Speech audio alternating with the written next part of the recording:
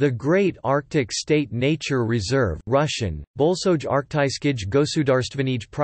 Zapovednik is a nature reserve in Krasnoyarsk Krai, Russia.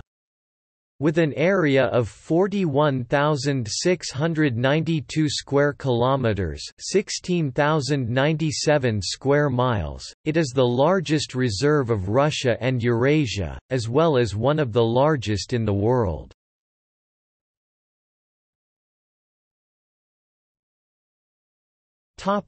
History The Great Arctic State Nature Reserve was founded on May 11, 1993 by Resolution No. 431 of the Government of the Russian Federation. The nature reserves in Russia are known as zapovedniks.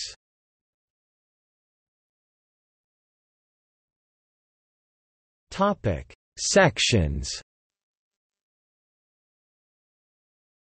The Great Arctic State Nature Reserve is divided into nine sections. Dikson, Sibiryakov section The Kara Sea Islands section, with a surface of 4,000 square kilometres 1,500 square miles. It includes the Sergei Kirov Islands, the Voronina Island, the Izvestiy TSIK Islands, the Arktyczeski Institute Islands, the Sverdrup Island, the Uedineniya Island and a number of smaller islands. This section represents rather fully the natural and biological diversity of Arctic sea islands of the eastern part of the Kara Sea. The Peucino section Includes the Peucino Gulf and the Peucino River Basin. The Middendorf Bay. The Nordenskjöld Archipelago.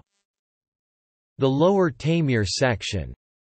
Includes the basin of the Taimyr River upper and lower, as well as Lake Taimyr. The Chelyuskin Peninsula. Includes the northern end of the Taimyr Peninsula. The Northern Reserve the Brekhovsky Islands Natural Reserve.